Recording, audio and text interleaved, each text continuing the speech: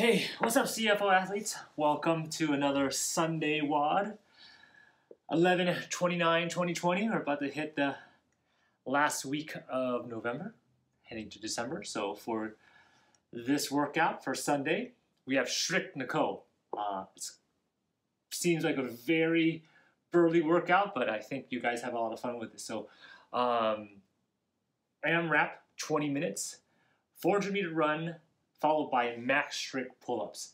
So for this workout, you'll start out with a 400 meter run on a 3, 2, 1, go, head out to a 400 meter run, and then come back and just do as many strict pull-ups as possible until you break. Then you head back out for another 400 meter run, come back, max strict pull-ups. Once you come off the bar, head out for another run. So it's gonna be this cycle of run, one set of max pull-ups, and then go back on the run. So for this workout here, for the pull-ups, let's choose a variation for the pull-ups that you can at least do seven reps per round. Um, that will give you a chance to work on uh, your pull-up technique, whether it's uh, modifications, which we'll talk about in a moment, and uh, just let you have some fun with this and work on some strength as well as thinking about, hey, how, how to pace yourself on the run. So for the pull-ups, as I'll demo in a little bit, we're gonna focus on the key points on your pull-up position. Want to keep a good head, neutral head. Make sure your chin gets over the pull-up bar.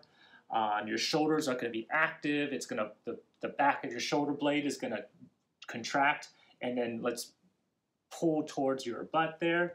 Your elbows, when you get to the bottom of the pull-up position, are to be locked out in a full lockout position. So overhead, instead of having a nice, instead of having a bent, going to have completely locked out. And then think about the core and the legs.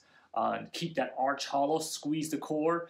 Uh, and then for the legs, squeeze the legs, point them together. Uh, it's easier to control one solid piece and pull up that way than to have everything loose as you're trying to pull up there. For the run portion, we're going to think about a uh, light to moderate pace. This is going to be your recovery mode uh, for the pull-ups. When you come back, you're just to get right on the pull-up bar, maybe a couple seconds, and then just start going after it. And then as you run, I like to shake out my arms, shake out my lats as I'm running, kind of look like the fool, and uh, really let that blood flow kind of trickle back down so your forearms and your lats aren't too pumped when you get to the next uh, round.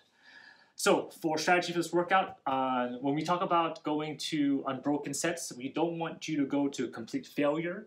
Um, think about having a one to two reps in the tank every single time, or that you can still hang onto the bar for about 10 seconds. Uh, that will allow you to keep a nice consistent pace throughout the workout uh, and a consistent amount of reps totals per round. So uh, we want to think, try to hit between six and seven rounds total for the 20 minutes. Uh, and if it takes you about um, two minutes to run the 400 meters, then total time of doing pull-ups is about six minutes there. So seven times two minutes, 14, so you have six minutes in between uh, each round there. So about a minute maybe of pull-ups, which is quite a lot. Uh, you might be going 30 to 40 seconds there. So let's think about that. Uh, so modifications for the run. Let's work, work on this here. For the run, you could do a 500 meter row, uh, a 1,000 meter bike erg, 400 meter ski erg, or 25, 18 calories on echo bike or assault bike. For the pull-ups, we got a lot of cool modifications. So uh, think about banded strict pull-ups, uh, ring rows, you got dumbbell rows in the plank position, you got barbell bent over rows, double dumbbell bent over rows, single dumbbell bent over rows, an odd object bent over row, or renegade rows, renegade rows, which I'll show you guys in a little second here. So let's talk about this. You guys have warmed up for your run. You warmed the angle prep and everything. You come back. Oh, I'm gonna need this box here for the pull-up position. So let's get that all ready. Oh.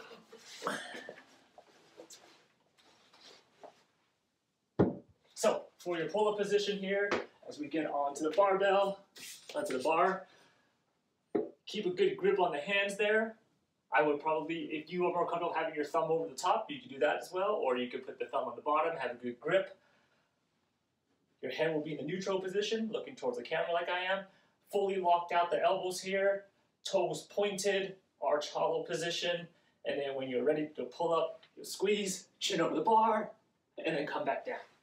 That nice and controlled there, um, but just rep them out as you need to be, squeezing the lats first, and then pulling up with the arms to complete your pull-up position. Uh, for modifications, as we talked about, we have banded pull-up. So if you have your band, same thing applies. I will try to keep everything you keep applying if you're doing a strict pull-up. Keep your legs together, keep your arms, keep your core engaged, arch hollow, head neutral, and then when you're ready, pull up, chin over the bar, come back down.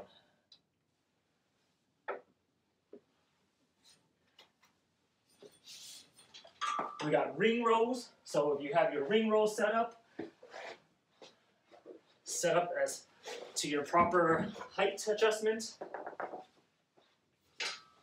Get on your rings, get onto your heels, make sure the rings keep a nice neutral position here. Keep everything engaged as you would for a regular pull-up. Ring row to the chest, squeeze it back down, keeping the head neutral as well.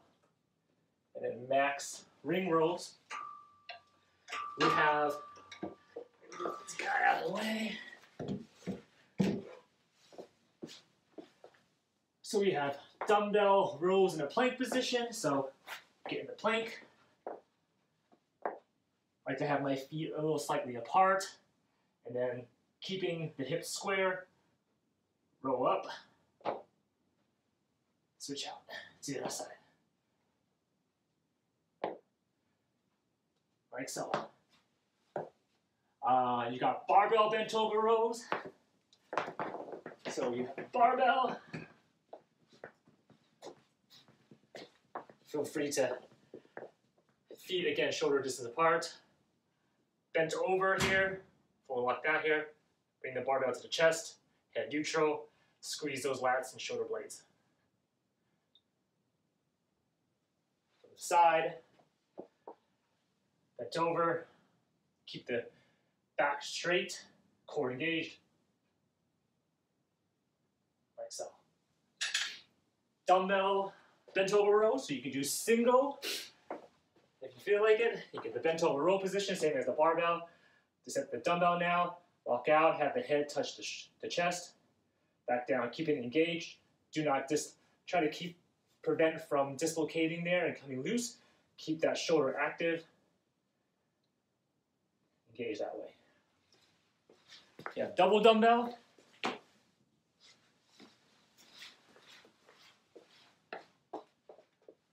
It's over, double dumbbell, chest.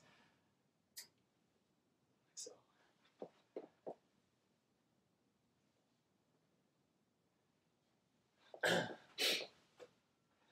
then we got single, we got odd object, bent over row. So if you have your odd object, Let's get that.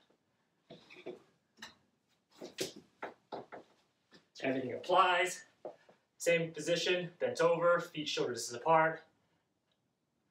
Have the odd object towards the chest, squeeze the lats. And then finally the renegade rows. We'll add a little push-up to your action here. So be dumbbells in a plank position, feet a little bit further apart. You're gonna row one, row two, and then push up. Chest to the ground, squeeze it up, one, row two, and then to the push-up position.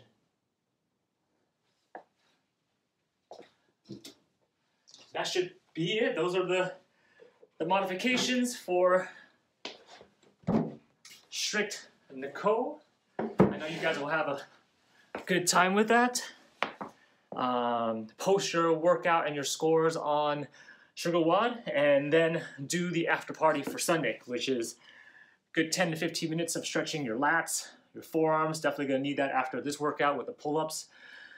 Um, calves and hamstrings from the run. So get on a foam roller, get on the crossbar, maybe uh, if, if you have a band, you have uh, whatever you need to loosen it all up. So I hope you guys have a great Sunday. Keep up all the good work, and we'll see you guys next time.